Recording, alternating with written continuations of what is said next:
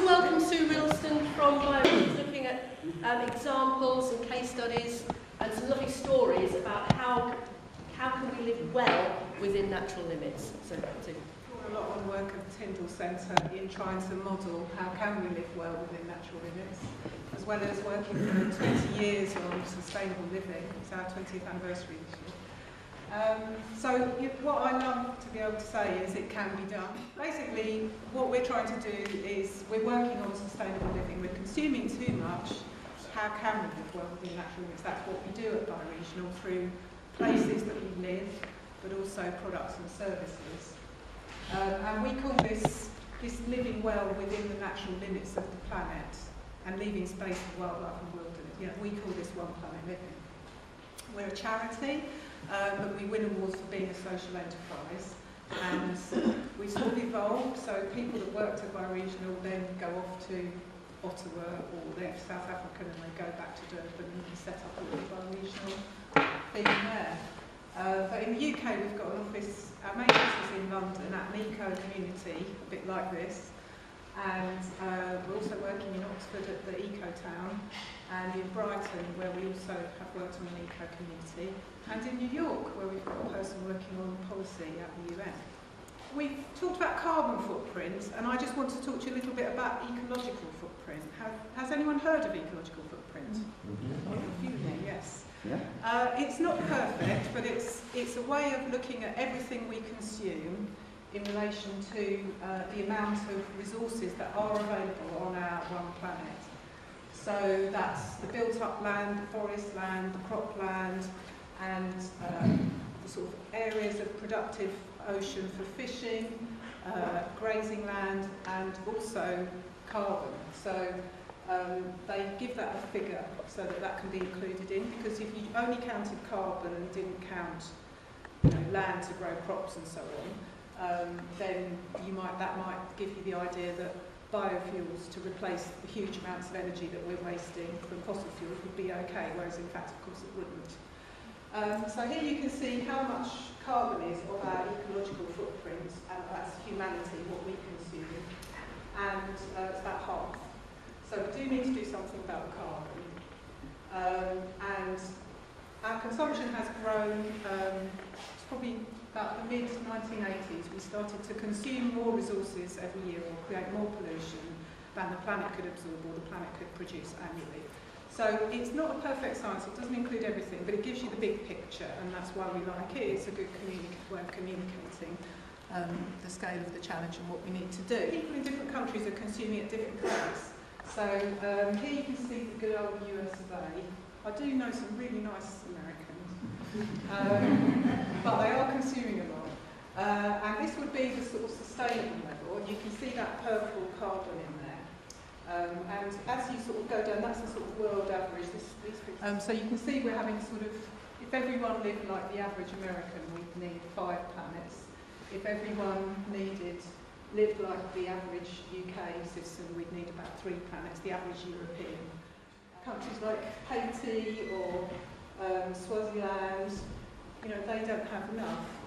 And so, you know, they need to come up and we need to become more resource efficient. So a lot of people talk about that in carbon circles as contraction and convergence, and that's what we, that's what we need. Um, and if you then think about it from the point of view of um, the human development, we can take the United Nations Human Development Index, which is all those good things that Maria was talking about, like literacy, um, do children get to go to school, health, uh, and so we want a, a low ecological footprint and a high human development index. You can see that we're sort of aiming for this corner down here and nobody's in it. Um, the year, the year I was, or around the year I was born, 1961, I was born in 60, but that's close enough, uh, there were only 3 billion people on the planet, and now there are 7, and so there's kind of a, you know, how much is there to go around issue, because now, with, that was actually 2006 fit less to go around, so it's actually in that corner. And the country that actually comes closest is Cuba uh, at that time because they'd had a blockade on oil, so they were, they were going for organic agriculture and saving energy. Um, as, and they also had quite a lot of social, good social policies. um, it's interesting kind of Latin American countries come close. So what we need, we all need one planet living. This lovely world that I feel choked to think about, um, where we can live happy, healthy lives within the natural limits of our planet and within a fair share of the world's resources and leave some space for wildlife and wilderness. You would have all heard the Living Planet report, um, biodiversity's halved in 40 years, You know, this is terrible, terrible. And we're all fighting battles in our own communities, or in my community, the local authority want to build a school on a nature conservation site, what we call green belt site. And if they do that, where are the long-eared owls that nest over the back going to go? Well, as I said earlier, the good news that I love to share is um, that I, I think good living for 7 billion people within these limits, it really is possible. And I, I feel it because we've been working on trying to introduce products and places where you can live within the limits. Um, so here's sort of three examples which are like sort of jigsaw puzzle pieces of our potential sustainable future. I'm mainly going to talk about communities, so I won't dwell on BedZED, um, but that's where I live, um, and if people who live there can massively reduce their personal CO2. We have here a local charcoal product, so that was something that we worked on 17, 18 years ago, um, bringing local coppice woodlands into management and producing a local charcoal product into national retailers as an alternative to imported charcoal and all that transport that might be coming from um, endangered forests and probably using indentured labour as well. So a really good product if you manage the woodlands sustainably, you get more wildlife, butterflies and so on, um, and more amenity, people can go walking in woodland, and you create jobs, and you get very good quality product You get an 85% cut in transport CO2 of that product from where it was produced to the store. So we have this network all across the UK. Recycled paper loop. So we promoted recycle your paper to the recycling mill just around London and then buy back the paper produced and also print on both sides, don't print so much. Um, we had a sort of a marketing thing, um, promoting this, promoting collectors and promoting buying back the paper. And when we had an LCA of this done by Surrey University, um, it showed a 93% reduction in the ecological footprint of your paper use. So you know that it's, we all know it's good to recycle, we all know it's good to buy local products, but it's really good to get some evidence uh, and, say, and just show, oh, you know, and look at the result. So we all know it's good, so we should just all do it, basically. It's a project that we did at Bioregional because we needed a new office. Um, I'm not an architect, I'm just an environmentalist, I actually used to be a nurse. Um, but wanted to do something. I just wanted to do something and so together with my now husband we set up Bioregional and we were working on these products and then we grew a bit and we needed a new office and we thought, well, let's have an eco office. And so we went around the local area looking for sites and we found this place I thought, oh, it's really big. And we could, it was actually a, a bit of brownfield, a brownfield site, which had been a former sewage works. So um, we thought, oh, fantastic, we can live there as well. So we took the project around and we, People You Trust, put up the money. We kind of designed it up a bit so there was a picture with a price tag. Um, and People You Trust put up the money to do it. Uh, it's 100 homes, uh, workspace, uh, there's a college for people with learning disabilities. The architects who worked on the project have an office there as well. Um, if you take that ecological, that three planet UK ecological footprint that I mentioned earlier, and then actually break that down, you can start to see what are the areas that we need to tackle. And the main difference is food. So food would be a lot smaller if you were just thinking about carbon um, than when you consider eco footprint. So housing Building our homes, maintaining them, is about 8% of our footprint. Um, home energy use is about 18% of our footprint. Uh, transport 15%, and if you took them as carbon, that would be 23% and 23% for the figures at the time. 23% um, food, so it's very important to do something about food, and eating a lot of meat and dairy has a very high impact, and also food waste big issue. We waste about a third of the food that we produce, not just in the UK but all around the world for different reasons. Um, consumer goods, all that stuff we buy. Um, and then this is the sort of government and business, the sort of capital assets that we all use. So these here we can all do something about, but we probably need someone else to help us with it, or make that available. This bit here is government and business. So that's everyone there gets that locked on their footprint. So you can do something about this, you can't necessarily tackle that. So at uh, we tried to design in sustainability at the start. So we had, it's called BedZed because that stands for Beddington, which is the local area, and Z, which is Zero Energy Development, and it said fossil in brackets, otherwise. And we also, it's very funny because if you've ever heard of Z beds, those fold up things, we have Z cars, uh, car club as. So, and so we had this strategy to reduce down the energy demand of the building. Hmm. So we've got walls that thick with lots of insulation. So it's actually to a passive house standard, which I think mm-hmm. the Lancaster, the Lancaster co-housing also is. Bigger windows on the south, smaller windows on the north. Uh, very well insulated so that we don't actually need central heating, which at the time would have added about £3,500 to the build cost. So that's a saving, not having to have central heating, although I do have a little radiator just for those when it's snowing. We, then we had um, renewable energy, so you can see we've got um, photovoltaics uh, in the same place of windows and roofs, uh, and that produces about 20% of our electricity. We also have a district heating system with hot water, very, very hot water going around the site, and that heats up clean water in the water tank. And when we first set up, we had a biomass combined heat and power plant, which gasified the wood, and gas produced was used to run a marine engine, which uh, generated electricity, and we used the waste heat from that to heat the water. But after some years of engineers in boiler suits walking in and out, in the end, it was decided it was too small to run on a, a site for just, you know, 100 homes. It's too small amount of ma maintenance it needed. So we've actually been running on the gas backup for quite a few years now, which is disappointing to all of us. Um, and we'd be very happy to put in a wood heat system. Um, but I think BedZed was very pioneering in its day. This was back in 97 that we thought about it. 2000 we got on the site, 2002 people moved in, so we've been on site for 12 years now, so I guess it's sort of 10 years ahead of this. We, it's important to think about construction materials. Construction materials are about, I think, 70% of the impact of uh, buildings, and some of them are a lot worse than others. So we try to choose, the sort of simple rule of thumb is try and choose traditional local building materials because they're probably the lower impact ones, and indeed we had local brick um, from the local brickworks and Green Oak Wet Building, but we had to get our windows from Scandinavia because um, they were well insulated and good. Um, but these days you can get better windows uh, more locally We, you use as much energy driving around in your car as you would in your home on average in the UK.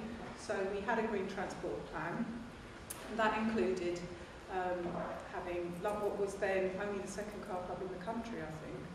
Um, so the car club means that you have a have a little card, uh, and I can like I've got an app on my iPad, and I can just book up the car when I need to. Are obviously the location we are in in London is very easy uh, because you've got public transport, you've got the main trains very nearby, buses. So it makes it easy. But even so, you still do need a car if you've got something heavy to pick up. So car clubs are a brilliant solution. Uh, we also did things like, if you have a bike, and you love your bike, and you come outside and someone's nicked the saddle, it's very disappointing. So um, we did put some parking outside, but we also made sure that every house had bicycle parking right by the front door. That's one of the sort of main things that I want you to take away and remember that we found is you've got to make it easy to do the right sustainable thing and difficult to do the wrong thing. And I think the trouble with our lives today is they're all designed, perhaps by accident, you know, you know it's so easy to get an EasyJet ticket and fly everywhere and cheap. It's easy for me to get my bike by the front door. If I need a car, the car club car's over there. We push the parking to the edge of the development so it's not just your cars outside your front door because it's just too easy to get in and drive down the road by Punter Mill. Oh, so I should say what we've saved, shouldn't I? So with energy, um, I think it's a 71, 73% reduction in carbon of the in the home. I think the average bill is about 1,500 to 2,000 pounds a year, and mine is, I think I pay 25 pounds a month for my electricity, heating, and water. I mean, it's really, really low. With the Green Transport Plan, where we've done the monitoring, we've got a 50% reduction in our car use. When I'm trying to convince developers that they should do this. I always say, well, you don't need, you know, in an eco community, you don't need so many, so much land, valuable land taking up with roads and car parking spaces. So, you know, you can have narrow, narrow roads and you can actually build on that space and sell it, which is a real commercial advantage. This, we've got about 50% reduction in car use, 50 to 60% depending on um, how you measure it, and I think we have 0.6 parking spaces per unit. Uh, water we save about half, so I use about 70, in our house we use about 70 litres per person per day, which is half, 140 litres was the average for a uh, composting and recycling, what we found is um, it's just not easy enough. So we've got divided bins under the sink. I often go down to the bin areas and go, oh no, look, someone's put recyclables in the bin. So when we monitored, we got a 65% recycling rate, which is what you'd really hope for. Um, but I know it's not that good, generally speaking. Skipping back to the energy, I should say, we put the meters on the show. These days you can do amazing things with gadgets, but at the time it was basically meters in the cupboard under the stairs. You don't really know how much energy you're using. So we put the meter on the wall by the kitchen sink so that people could, with a little glass you look through and see what you're using. So if I put the kettle on, or if the oven goes on, I notice those are the things which really do use the most energy. You can see the meter whizzing around. Um, and the same with the water, the water meter's there, so when the washing machine goes on, or you're just much more aware of the resources that you're using. We did a lot of work, we fitted out all the apartments and homes with um, low energy appliances, and we thought we'd get 25% reduction in the electricity use, but actually we got 45%, and we decided that that must be because um, people are um, changing their behaviour, basically. Food is a big part of the impact. We have actually set up a community farm locally since we did Bedsed, um, and just encouraging people to compost, have allotments, um, think about food, don't waste it. Culture and heritage was also important to us. We um, planted up lavender plants because that's a local crop and that's another thing that we've worked on locally. Um, those traditional building materials, and we can learn a lot from cultural heritage. You know, what did our ancestors do when they didn't have fossil fuels to burn? This is Nicole.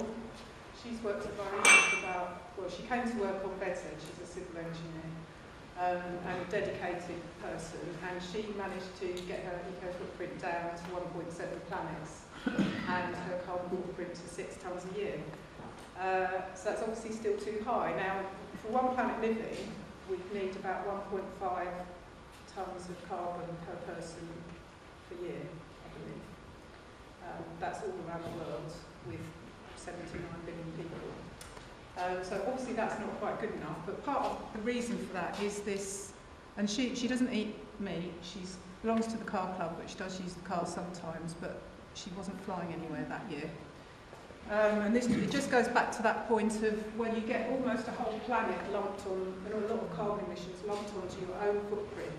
So you could achieve one planet living in isolation, but we are all part of a bigger society. We will have to have that added onto our footprint. So, so it just shows there's no room for little demonstration projects. We've got to basically do this everything. When we surveyed residents, you know, we measured everything. We also asked them what do they like um, about BedZED, you know, what do they like about living there. And the thing that people liked the most was the quality of life and the community spirit. And people at BedZED know on average 20 of their neighbours, whereas over the road by the busy main road, they only know eight. Uh, and knowing more of your neighbours is a sort of NHS thing, measure. Um, if you know more neighbours, you will have better mental and physical health because we all need that. We're social beings, you know, we need that contact. And in many ways, the car has, you know, driven us apart, being in a car, giving over so much space to the car. If we were walking about uh, and meeting each other, we, we feel better as well as we have better um, health. So we built on that, the strategies that we had for BedZED and, and developed that into, um, basically we formalised it, we, the word, we standardised it as a framework which anyone can use, so you can use it if you want to. Um, and we've got these 10 principles, zero carbon in the building energy use, I'm going to go on to the detailed one. Zero carbon in the building energy use, uh, zero waste, so we don't want to waste, there is no such thing as waste, these are just resources that we can reuse. We should keep the value of that in, in the system. Um, sustainable transport, sustainable materials, local sustainable food, sustainable water, land use and wildlife. At BedZED we had um, green roofs and we tried to sort of bring more wildlife onto the site even though we were building on it reviving local identity and wisdom, um, equity in the local economy, creating jobs, supporting local communities and fair trade, uh, and health and happiness, so promoting health and, well-being. How we use One Planet Living as a process is basically you just need to gather a bit of information about whatever it is you're trying to achieve One Planet Living in, um, whether it's a community or a company. Um, and, you know, where are all of our impacts? Well, how much energy are we using? Hmm, how many miles are we driving? And we have actually got a calculator on our website, so if you want to, it's got slightly old data on it, but it will give you the broad picture if you to go on. But you need your bills to do the detailed one to get a better result. And then the way that we tend to use it is it's best if those people concerned who need to do something about this and want to try and enable and achieve one living work together in workshops to create an action plan. So, and then make that action plan available for others to see, to share it, and then get on with implementing it, and then tell everyone how you got on every year. So we've been working with partners around the world, um, quite a lot of things in the UK and around the world. And a lot of these projects, they do publish their, um, their action plan and share ideas. And we're just working to just make that even more open source and available so people can just do their plan, put it on a map, and you can sort of search by what does someone do zero carbon. Because we made it available as a sort of PDF toolkit, and then I would get people, meet people, like this guy who said to me, oh, we downloaded your toolkit and um, we did a one-point action plan for our sixth form college in Lucerne and I would never have known that. So we're trying to sort of capture that information and, and then maybe if someone, they could upload their plan and then someone who wants to also do a sixth form college could say, oh, that's what they did in that form college, we can share ideas. So we're just working on making that more available.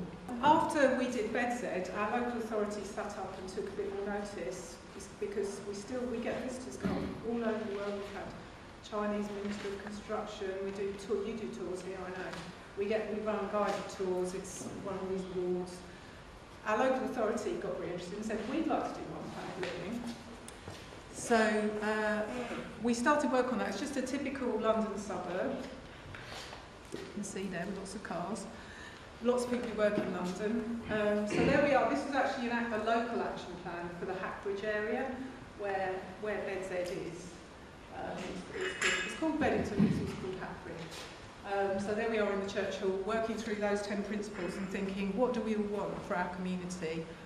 uh, and then implementing it. So we did. A, we've done. We started off back in 2007-8 with lots of work on energy efficiency. More recently, we. Uh, this is the guy who runs the coffee van at the station, and we had a bit of fun putting solar panels on his coffee van. Um, and it had all these extra advantages. He found he could actually go off grid a bit more and serve coffee in places where we couldn't plug in. Uh, and there's not, you've not got the fumes of having the engine running. Um, and I was checking the figures because I was talking to Phil about it, who's a real energy saving expert. Um, and in Sutton, over five years, we've reduced carbon emissions by 19%, which is quite good. Obviously, it's not the 10% a year, but that's a sort of cumulative after effect, isn't it? And we've got our farm. Uh, I'm not. I'm going to run out of time because there's so much detail there, and I want to quickly get to capital consumption. But just to say, this project in Brighton, Uh, that did all the One Planet Living things. It's got community food growing. It's a, it's a block of apartments by a station. Um, it's, got its, it's got its problems in that there's a very transient student population. It's very hard to get them, especially if they're from China or somewhere, and they just don't what are you talking about? Um, you know, to actually get their attention and get them to participate in things. But that was built within the normal range of build costs, and it's sold a lot faster because when you go there, it just feels nice. Like when you come here, it just feels nice, and people want to buy into that. So I think we're all onto something here. When Gordon Brown said we want to make eco towns, I wrote him a letter and said, do you want a hand? And then got involved in this group with the TCPA and then eventually um, was invited to join the Eco Towns Challenge panel. And we wrote, uh, you know, what makes an eco town as well, which you can get from our website. And this then led to a planning policy statement, which the current government is trying to abolish, but it's still hanging in there, just about at the moment, fingers crossed. Um, and some of the interesting things about that, as it will be 5,000 new build on the edge of a market town, is looking at this sort of energy storage, energy balancing, this how not to waste it, how to have decentralised energy systems, is what we're right up against now, really, really trying to make that work in the mainstream development. But it's all possible. And this is what I wanted to make sure I told you about. So we actually took the Tyndall Centre bathtub approach of there's only this many more emissions we can emit before we hit two degrees. Um, but we did this in 2009, and we would have had data from a bit earlier. So it was only 6% per year, year on year. Um, but we did model it for London. How could we um, live well within limits? We had 64 measures and one overarching measure. We found that um, we needed um, totally renewable, 95% decarbonised electricity grid by 2030, otherwise we couldn't actually achieve it. Uh, and this is consumption-based emissions, so this includes the goods we buy, the clothes, the, the construction, you know, wherever, as well as the plug-in fuel and all that. Um, so there were eight areas, um, and just to give you a highlight of some of the 64 measures, it was actually included flying half as often in 30% more efficient planes because that was felt to be possible um, by the industry. You know, we, we took things that could be done. Uh, with food, it was eating, I think it was half as much meat and a third as much dairy. Um, doing things with um, having zero carbon farms uh, in terms of their energy use, um, improvements in food supply systems, and all of these things were felt to be possible by the Food Climate Research Network. So you can download this report from our website, but basically, I know that doesn't look like it, that does actually work because that goes up there. Um, so we did actually, it can be done.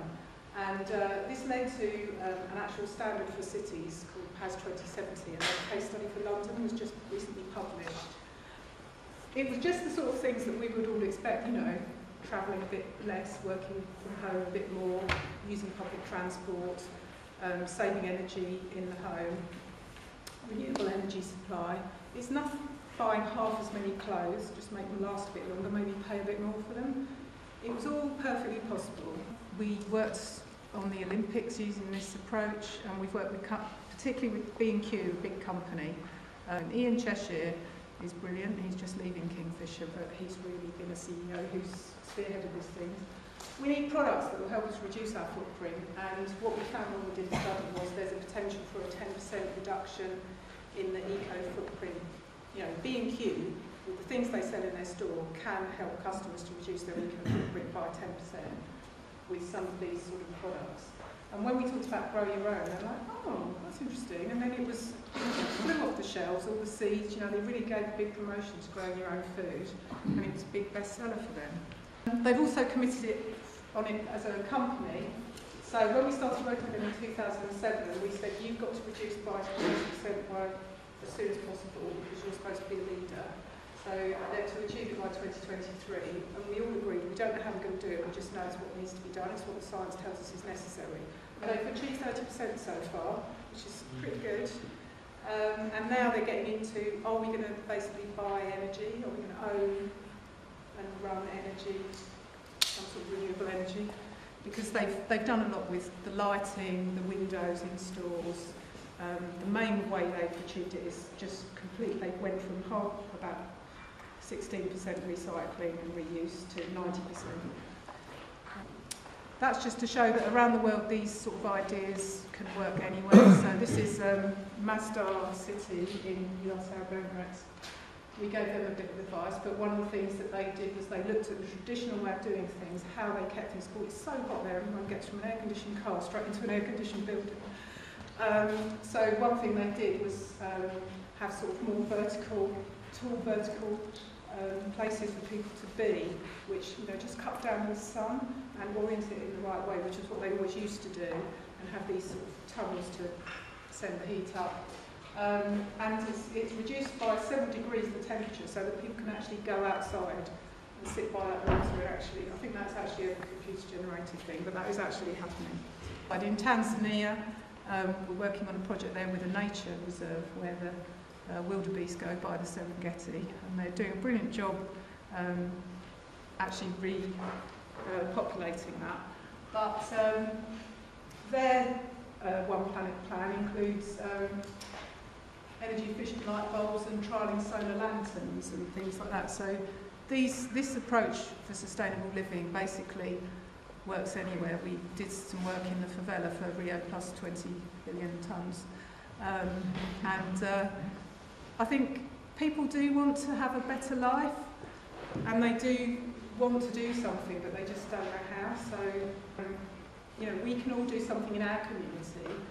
As I say, I, I'm just an ordinary, you know, I just was someone who, when I was 30 who thought, oh my God, this is terrible, I've got to do something. I can't go back to being a nurse, I want to try and do something about this and have a creative place to live and, you know, create a jobs actually.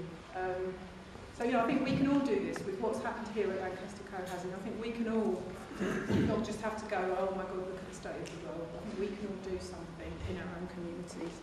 And as I mentioned, we're currently working on these Sustainable Development Goals, and watch out for them because they're for everyone, wherever you live in the world, the same goals for sustainable living or sustainable development. Um, and we're working very hard. We went to every Rio Plus 20 preparatory meeting and held, we held the first workshops championing for the government, championing these sustainable development. And, you know, we're really, we've, we put, we've put a lot of hope on that, that that could be something really good, a bit like Local Agenda 21, but all around the world, this e equity, that we all have the same goal.